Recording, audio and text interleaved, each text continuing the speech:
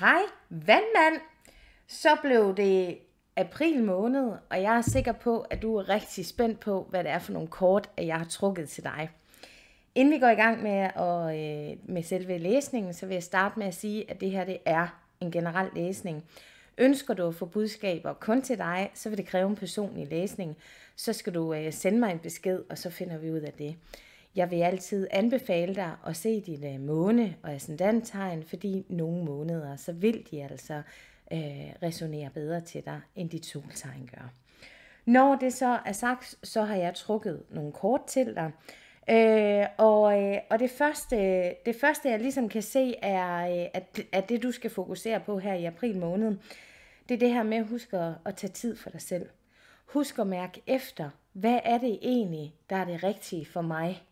Det her med ikke at tage overilede beslutninger, det her med ikke at, øh, hvis, øh, hvis din leder eller øh, din chef spørger dig, om, øh, om du vil varetage en, øh, øh en ny øh, arbejdsopgave, øh, så i stedet for at svare med det samme, så er hovedtemaet, gå lige hjem og mærk efter, er det her det rigtige for dig. Øhm, fordi der er altså noget omkring selve det her med at fordøje, det her med at tage det ind. Hvis, øh, det kan, og, og det er alt almindelighed. Altså, det kan også være i forbindelse med din partner, det kan være i forbindelse med dine børn, øh, men, men, men alt omkring dig, altså alt, hvad der, øh, øh, der, der, hvor du bliver stillet spørgsmål. Det kan også være din bankrådgiver, som, øh, som stiller dig nogle, nogle spørgsmål. Men, men, øh, men mit råd til dig er, kære vandmand, træk stikket, mærk efter, hvad er det rigtige for dig, inden du tager den her beslutning. Øh, og grunden til, at jeg siger det, det er fordi, at du har, øh, du har fået syv svær. Og syv svær handler om at øh, føle sig bedraget, svigtet, snydt, ført bag ryggen. Øhm, altså alle de her ret tunge energier. Og, øh, og, jeg, og jeg ser altså, at du kan, du kan undvige øh, den konflikt, øh, der kan opstå ved at, at mærke efter, inden at du ligesom giver dit svar.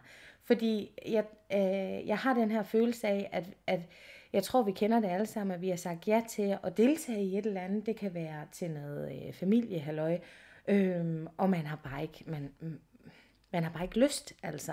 Måske er man for stresset, fordi der er, for mange, altså, der er mange andre ting, der, øh, der skal ordnes. Men man har sagt ja til at, øh, at, at, hjælpe eller gøre noget, som man i virkeligheden ikke har overskud til. Det er, øh, det er de syv svær, som går ind og giver dig den der øh, svine og brænde nede i maven, hvor man, ej, man kan næsten ikke holde ud, at man har sagt ja til at gøre det her, fordi man, man har i virkeligheden ikke overskuddet.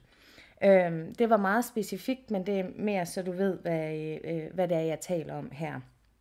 Øhm, så handler det altså rigtig meget om at mærke efter, øh, hvad er det egentlig for nogle energier, øh, øh, du øh, hvad hedder det, boldrer dig i. Altså, øh, du har fået øh, The Temple Path, og det handler rigtig meget om, øh, at finde vejen til dit indre. Og det lyder, øh, det lyder rigtig fancy. Men igen det her med, øh, hvordan er det egentlig, du har det for tiden? Har du det godt? Eller har du det mindre godt? Hvad skal der til for, hvis ikke, hvis ikke du har det godt, hvad skal der så til for, at du får det godt?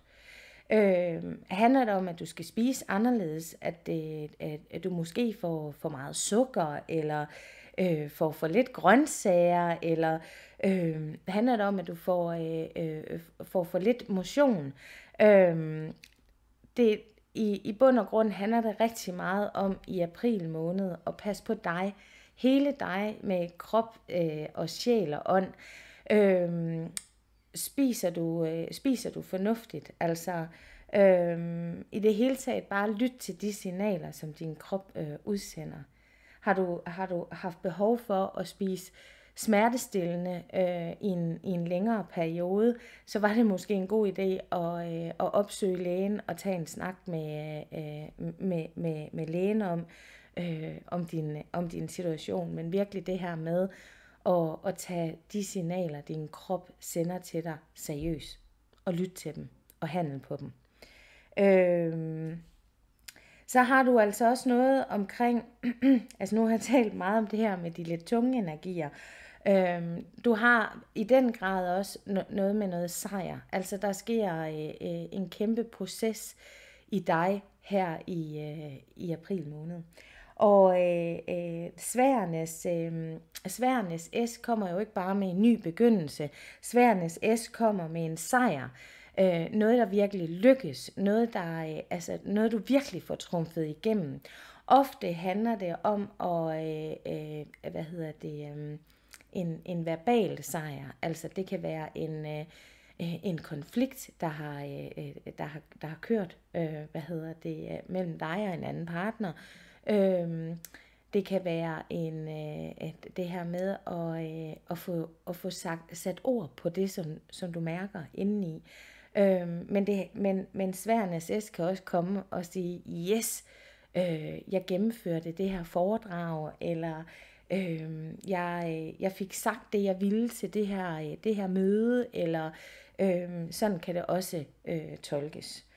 Øh, så er der også så er der noget omkring noget samarbejde, øh, teamwork, det her med at fungere øh, i et, øh, et team, øh, noget med at få brækkerne til at, øh, øh, at passe sammen. Øhm, og, og fordi at, øh, at kortet er trukket øh, lige før, hvad hedder det, sværnes S, så er der altså den her øh, sejr, som du oplever, det er altså i forbindelse med det her samarbejde. Og, og i de fleste tilfælde, der er det altså forbundet med arbejde. Altså en sejrsfølelse øh, Øhm, i forbindelse med noget arbejdsrelateret.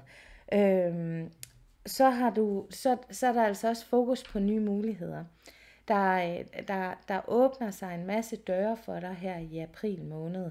Øhm, og det ser jeg altså øh, på den store spekter kan være alt fra øh, nye arbejdsopgaver øh, til øh, øh ny bolig, til øh, øh, øh nye øh, hvad hedder det, øh, et, et, et nyt fysisk sted at være, og normalt, når vi taler om, om, om de syv bærer, så er der ikke tale om en decideret flytning, men det får, det får jeg altså ind omkring, øh, omkring dig her i øh, april måned.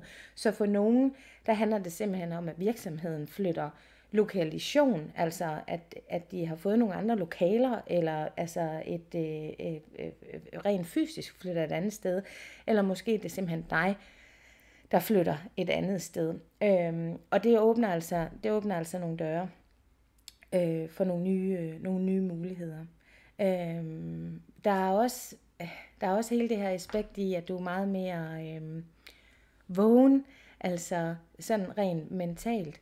Øhm, og der sker virkelig, øh, der sker virkelig en kæmpe udvikling med dig. Altså, øhm, du er mere observant her i april måned, Øhm, og, og når du endelig får sagt noget, så er, du bare, øh, så er der bare pletskud fra UVH. Altså så får du bare sagt det helt rigtigt på det helt rigtige tidspunkt. Øhm, men længe nok har du også været øh, låst fast, altså øh, øh, været, været handlingslammet og har ikke rigtig vidst, hvordan du skulle komme ud af den her øh, position. Og det ser jeg altså primært igen omhandle dit arbejde. Øhm, men den, kommer du altså, den følelse kommer du altså ud af her i april måned. Øhm, jeg har også trukket nogle englekort til dig, og, øh, og du har fået kortet, øh, nu læser jeg dem lige op for dig, du har fået kortet, du bestemmer selv. Øh, læg din fortid bag dig, og luk de nye muligheder ind. Så igen det her med, at der er masser af muligheder til dig, men er du villig til at at tage imod dem? Er du villig til at række ud efter dem? Er du villig til at øh, gøre noget konstruktivt, eller vil du bare lade det passere? Øh, det har du selvfølgelig dit frie valg til at, at, at, at vælge. Fokuser på dine ønsker, og ikke på det, du frygter. Så igen det her med, ikke lade dig øh, blive lamslået af din egen frygt eller angsten for forandring, øh, men simpelthen omfavn de nye muligheder, som der kommer øh, til dig. Og, øh, øh, og selvom jeg, jeg primært ser, at det omhandler arbejds, øh, øh, arbejdsrelationer, øh, så, så ser jeg altså også på nogle, at det handler om, om, øh, om nye muligheder rent, øh, rent personligt, altså i forhold til, til, til, til ens boligsituation. Øhm, og så det sidste kort, drømme bliver til virkelighed. Så igen, øhm, hvor der er en vilje, er der en vej, og, øh, og du er... Øh, du er i førersædet her i april måned. Du har taget øh, ja-hatten på. Du er, øh, du er stærk, og du, øh, og du, og du formår virkelig at, øh, hvad hedder det, øhm, øh, øh, og, og, og slå igennem med, med, de, øh, med de ting, du sætter dig, ting, du sætter dig for. Jeg har glemt at trække et, øh, en krystal til dig. Det plejer jeg jo altid at slutte af med. Øhm, så er det godt, jeg har kortene her. Så jeg trækker lige et, øh, en krystal til dig for at, at afslutte måneden på en, øh, på en god måned. Vi skal jo gøre tingene, som vi plejer. Og du har fået en, en citrin. Unødvendige bekymringer.